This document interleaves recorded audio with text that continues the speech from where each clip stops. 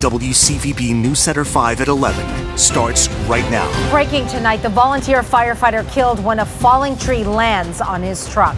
The damage when vandals strike a Burlington church. Five investigates new questions about the filthy conditions inside a Boston supermarket. The winds are backing down and the warm up begins. Who could see near 70 degrees? The fiery crash, the daring rescue, and the dangerous trend that could be to blame.